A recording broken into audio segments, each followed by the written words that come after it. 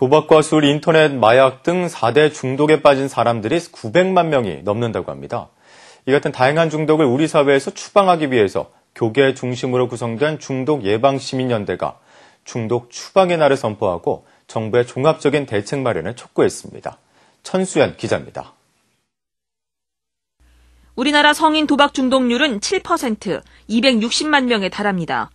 인터넷 중독자는 고위험군과 잠재적 위험군을 합쳐 233만 9천 명. 알코올과 마약류 중독자는 통계가 잡히지 않는 이들까지 감안하면 최대 350만 명과 100만 명까지 추산되고 있습니다. 특히 최근에는 청소년들을 중심으로 스마트폰 중독 현상까지 나타나는 등 우리 사회가 각종 중독으로 몸살을 앓고 있습니다. 인성 파괴, 가정 파괴, 모든 중독 추방하자! 추방하자! 추방하자! 추방하자!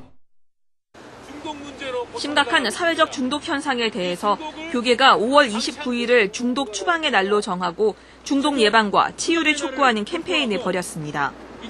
이들은 중독에 대한 정부의 정책이 미흡하다고 지적하고 관련법 정비와 예방 캠페인, 중독자와 가족들을 위한 실질적인 지원 등 종합적인 정책을 마련하라고 촉구했습니다.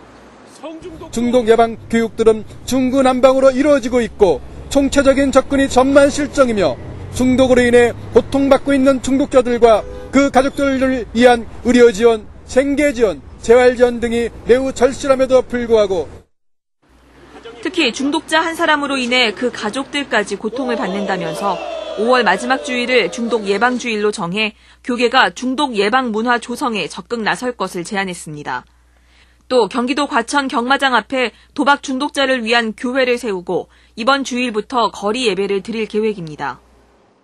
도박 중독에서 벗어나서 신앙으로 치료를 받아서 회복이 되신 분들이 어, 같이 모여서 어, 또 다른 도박 중독자들을 위해서 어, 전도하며 또 신앙으로 치유하도록 또 그들을 도박 중독에서 벗어날 수 있도록 권면하는 현재 도박과 알코올, 인터넷 등 각종 중독을 정부 차원에서 통합적으로 예방 관리하는 법안이 국회에 발의된 상태입니다.